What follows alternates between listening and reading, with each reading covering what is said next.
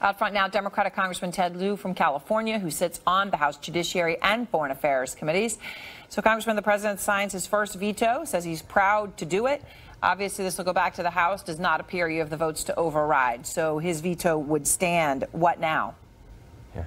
Uh, thank you, Erin, for your question. Let me first say that my heart goes out to the families and victims of the tragic mosque attack in New Zealand.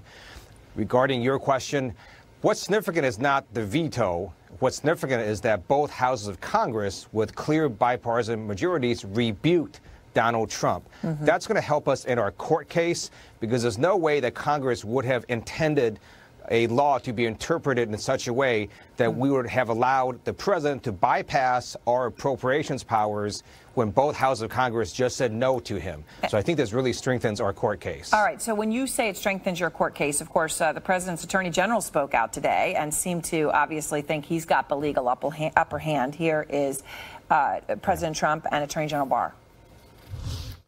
They're not going to be able to override. It's going to go very quickly.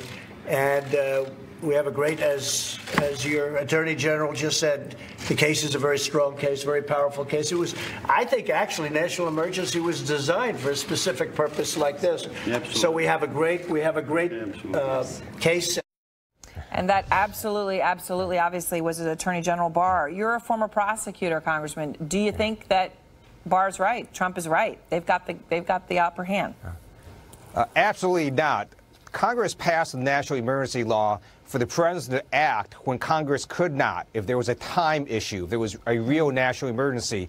Congress not only acted, we acted to say no with clear bipartisan majorities. So I think we're going to win this court case. But just in the facts alone, there is no national emergency. Based on Trump's own data from his own administration, border apprehensions have declined 75% from 2000 to 2018. And based on the FBI's latest data, violent crime and property crime both down across America. Uh, you know, Pamela Brown, I wanted to ask you just a moment ago, was talking about the dossier, right? Uh, the Steele dossier, obviously highly controversial.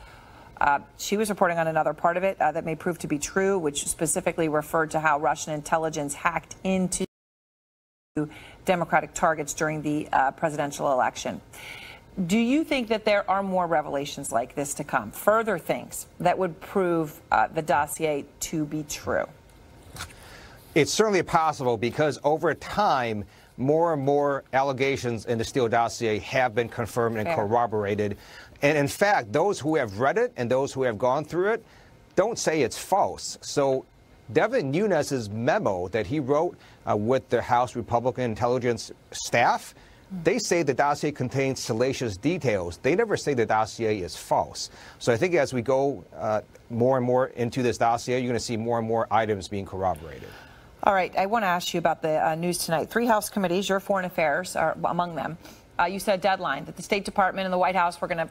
This was their night, the day, right? They've got, right. they've got till midnight, right, to give you uh, the, the information, the details about President Trump's meetings with the Russian President Vladimir Putin.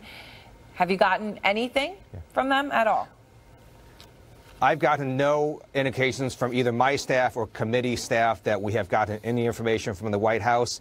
I would be pleasantly surprised if we actually got this information because Donald Trump tried to hide this information from his own administration.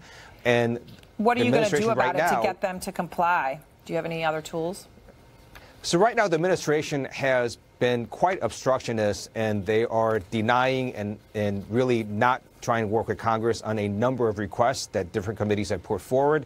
So if they do not provide this information that we requested, we're going to try to continue to negotiate, but at some point, we're just going to have to start issuing subpoenas. All right. Thank you very much, Congressman Lieu. I appreciate your time. Thank you, Erin.